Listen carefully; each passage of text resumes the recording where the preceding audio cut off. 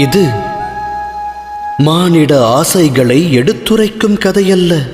இச்சை கொண்ட மனதால் ஒருவர் வாழ்வில் உயர்வு தாழ்வு அடைந்த கதையும் அல்ல. இக்கதையானது இச்சை என்னும் கர்ப்பத்திலிருந்து உதித்தெழுந்த ஞானக்கதை.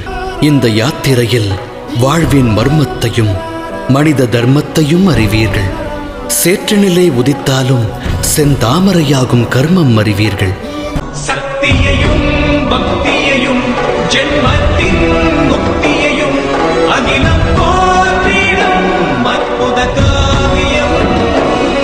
கிருஷ்ணனின் மகிமையும் கீதையின் பெருமையும் ஒன்றாக சங்கமிக்கும் புண்ணிய காவியம். இந்த யாத்திரையின் பெயர் மகாபாரதம்.